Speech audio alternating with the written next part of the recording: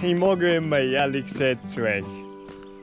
Jetzt sind wir es 5 in der Früh und ich muss sagen, ich habe kein Auge zugedrückt, weil ich weiß nicht, es ist wie, wie vor 20 Jahren, da wo ich 5 Jahre alt war und es ist das Christkind gekommen am nächsten Tag. Wir schauen sie nämlich heute was Besonderes an. Ich bin schon sehr, sehr gespannt.